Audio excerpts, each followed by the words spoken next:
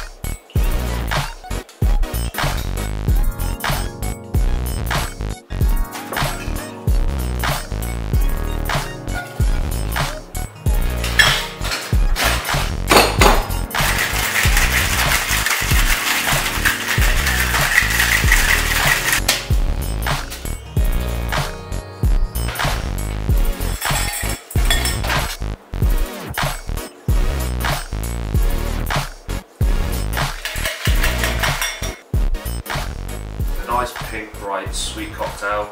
It's for the sweeter tooth of people. Uh, that grape juice in there as well, that sort of brings out that really nice, refreshing flavour. Goes really well with the rosé.